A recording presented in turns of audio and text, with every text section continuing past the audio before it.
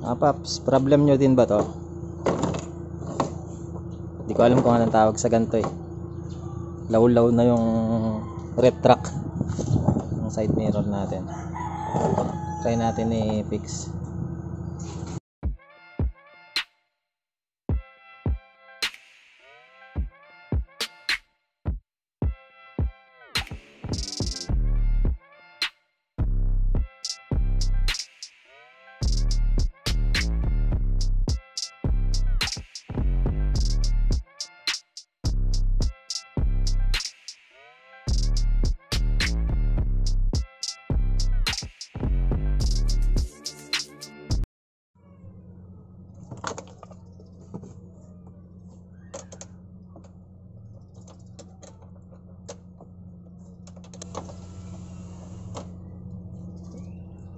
Gamitan nyo lang ng 10mm.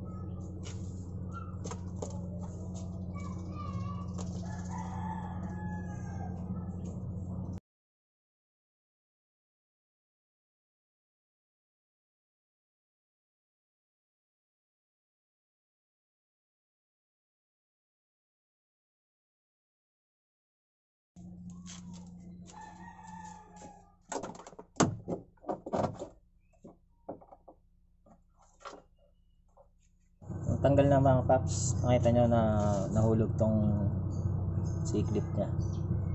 Nasa loob. Kaya natin tanggalin mo sa yun.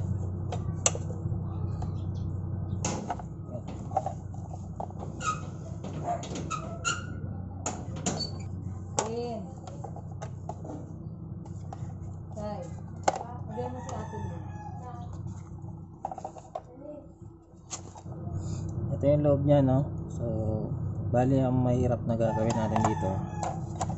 Uh, kukompress natin tong spring. Bali dito kasi yung nakapwesto yung clip. Tanggalin muna natin to. Yung assembly ng mirror.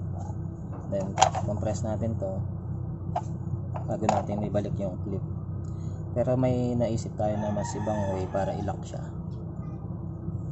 Tanggalin ko muna.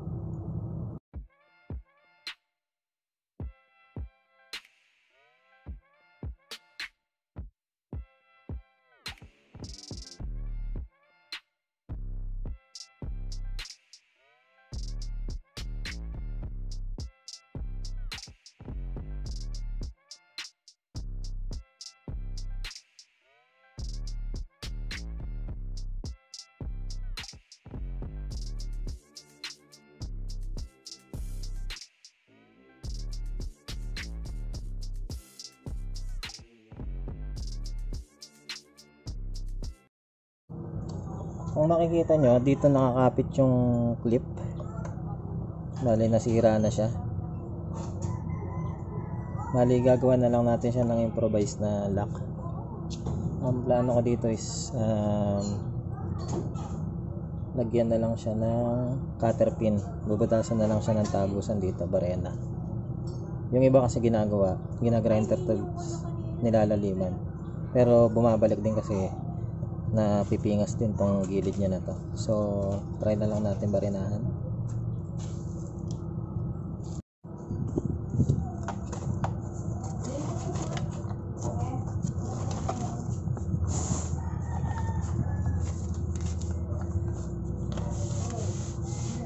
Pinakamaliit kong talim 1.8.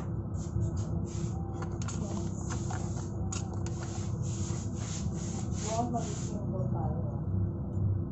Baka sa loob yun ang kulusan.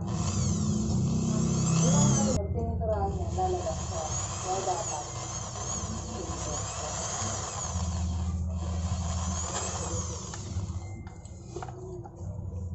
Dahan-dahan lang, baka tagusan yung wire natin.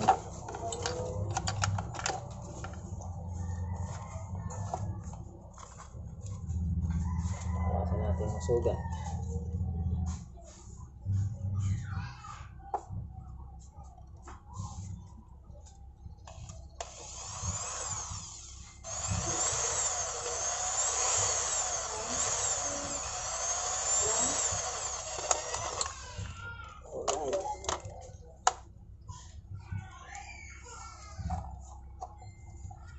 butas na.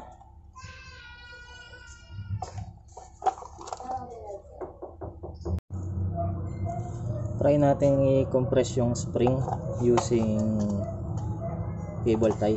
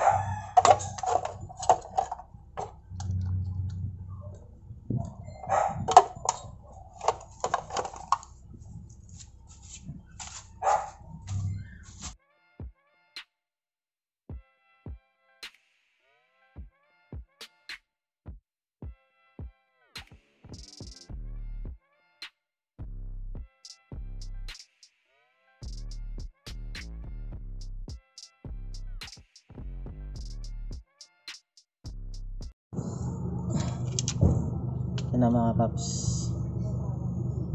Bali, compress ko na siya. Tinulungan ko siya nitong pang ipit na to.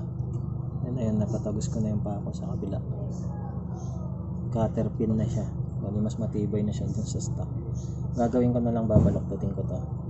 Baloktutin ko din yung kabilang dulo para hindi na siya umurong. Using grinder.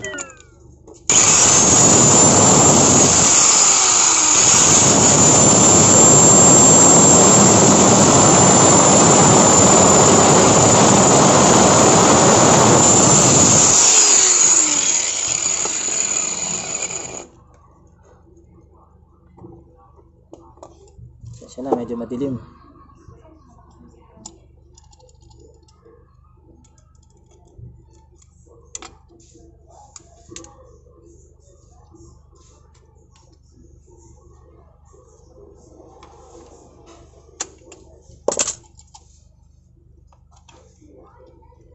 Tanggalin ko na tong clip. Tapos putulin ko ng cutter tong mga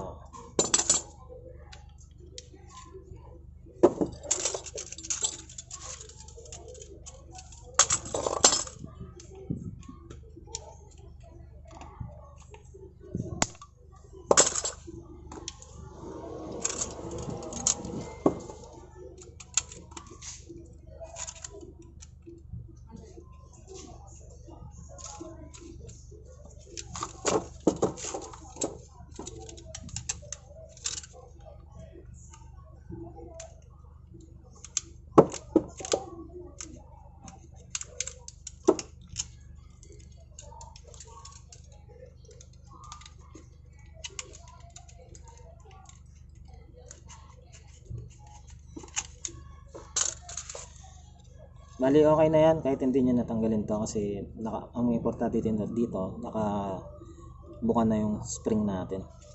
Yan.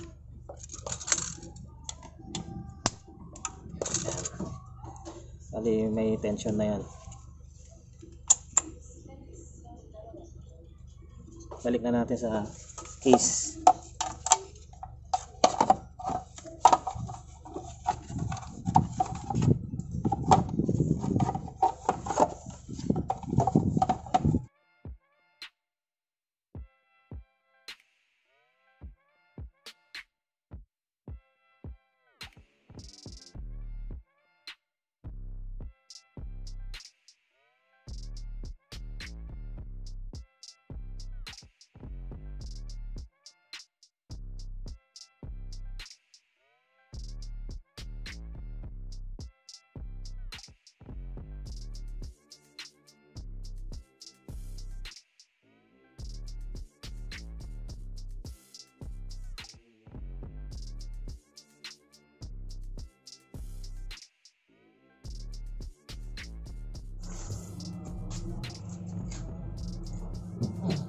Ginabi tayo mga paps. Bali, kapit na natin.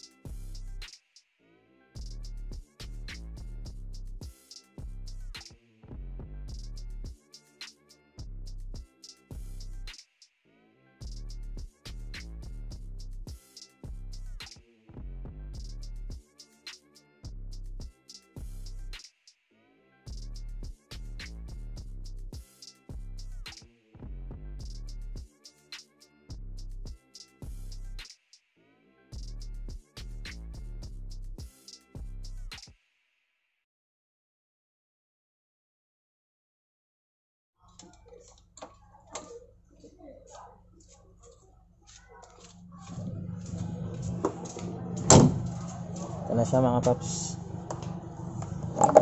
Yan. Tigas na siya. So, working na ulit.